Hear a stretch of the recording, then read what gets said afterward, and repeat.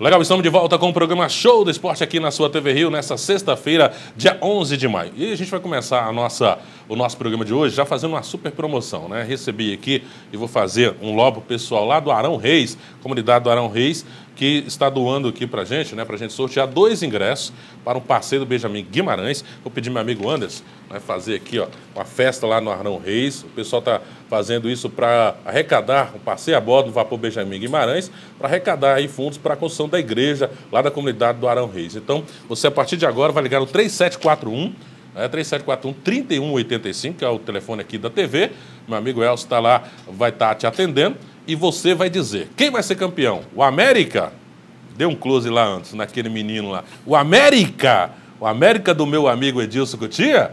Ou o Clube Atlético Mineiro, essa camisa é bonita, hein? Ou o Clube Atlético Mineiro do meu amigo Alexandre Diniz. Então você vai ligar 3741-3185 e vai dizer e concorrer a dois ingressos. Está valendo a promoção a partir de agora até o final ah, do nosso programa Show do Esporte, tá certo? Que hoje eu tenho a satisfação de receber um grande amigo, né, o meu amigo Alexandre Diniz, agradecendo já por ter atendido o nosso convite, para a gente falar do Timoneiro, esse troféu muito interessante, que tem, dentre outras categorias, o esporte, que a gente vai estar falando já já. Xandão, obrigado por atender o nosso convite, seja bem-vindo ao nosso show do esporte. Não seja por isso, Rogério. Carlos, amigos ouvintes e telespectadores, eu quero agradecer ao Rogério pela gentileza do convite só quer dizer que está um cheiro de naftalina, agora que você falou da camisa do, do América, que eu me lembrei. Está um cheiro de naftalina aqui dentro.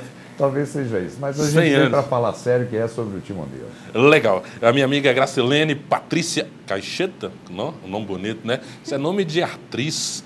E aí, eu fico famosa.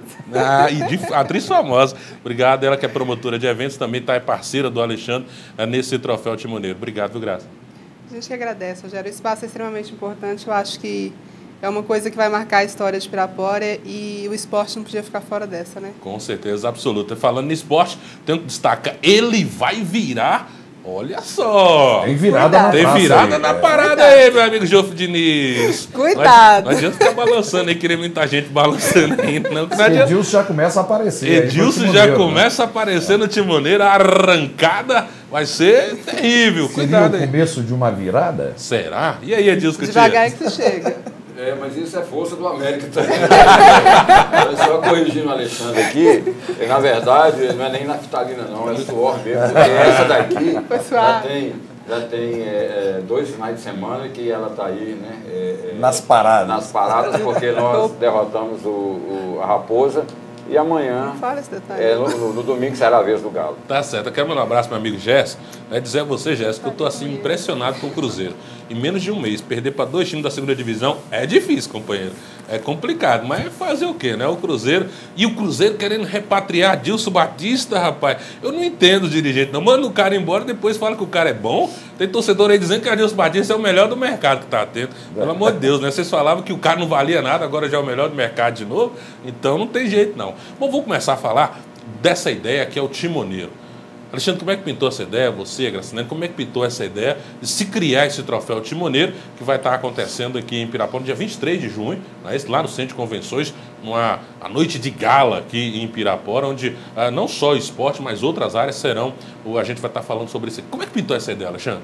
Pois é, Rogério, as andanças aí mundo afora, né? Eu vi grandes promoções em destaques de personalidades, de gente que faz e de outra natureza também. E aí nós tivemos, pensando a nossa comunidade há muitos anos, não destaca aqueles que de fato merecem ser destacados em meio à comunidade. Gente que faz, como se diz popularmente, não é? É gente que dá uma contribuição à nossa comunidade, que de alguma maneira ajudou a construir a nossa história, gente que faz no dia a dia a nossa história. Então, a, a intenção da Mourão Produção, ao chamar a Gracilene para essa parceria tão importante, a gente tem essa intenção, de fato, reconhecer o mérito dessas pessoas e pedir à comunidade que eleja também os seus destaques. Não é? é isso o nosso propósito. Muito legal. E, e aí, Gracilene, é uma ideia que veio e veio para ficar, né? Com certeza. É, eu acho que Pirapora, como Alexandre diz, a personalidade, as personalidades em destaque estão escondidas e merecendo ter o um mérito reconhecido.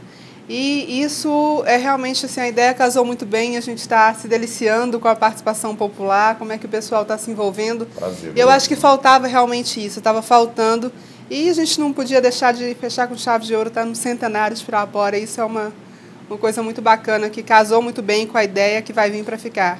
Com certeza. É um presente para a gente também, né, Edilson? É um presente, ainda mais no nosso centenário, um troféu é, e marcando, né, na realidade, marcando o centenário e marcando realmente uma história na nossa cidade. É, eu quero aproveitar a oportunidade, Rogério, e parabenizar o Alexandre com a sua equipe né, por essa iniciativa. Né, e, sobretudo, em colocar o esporte também, né, o, o tópico esporte, porque o Xandão, eu fico assim muito à vontade, Xandão, é, é, quando eu, eu, estou assim é, num programa ao seu lado, porque você, eu me lembro, você nos anos, final dos anos 70, Rogério, o Xandão ele era nosso professor de educação física lá no, no, no Colégio Pirapora, né, ali no campo do Sete, né, do sim, Sica Babão. Sim, sim. e lembranças. a gente, então Alexandre, você sabe que hora que ele marcava a aula? Seis horas da manhã. Ele era é, carrasco. Mas a gente, naquela disposição toda, ou era, era hora no, no, no campo do Sete, hora no, no Independentes Clube. Né? E o Xandão, é por isso que a gente fica muito à vontade, Xandão, porque você Obrigado. realmente é um homem também do esporte. Né? Sem dúvida. E é uma área que merece também é, estar em destaque, não é? Temos grandes desportistas e aí a gente não restringe a questão do timoneiro somente ao futebol, não. Todas as áreas do esporte, de uma maneira geral. Nós temos aí alguns atletas do futebol sendo votados, alguns atletas é, de outras especialidades, mas nós queremos conclamar a comunidade esportiva que indique seus timoneiros também. Quando você acessa o Facebook, que é o voto mais fácil para se dar através da internet, você vai se deparar com alguns nomes já sugeridos e votados, inclusive. Alguns já disparados aí na frente, né, Rogério? É verdade. Mas a gente sabe que você pode sugerir também. Tem grandes nomes do esporte que estão sendo preteridos, que estão sendo esquecidos aí nesse momento. Mas a promoção está começando, a votação vai até o final do mês. Portanto, tem muito tempo ainda para as pessoas indicarem os seus timoneiros.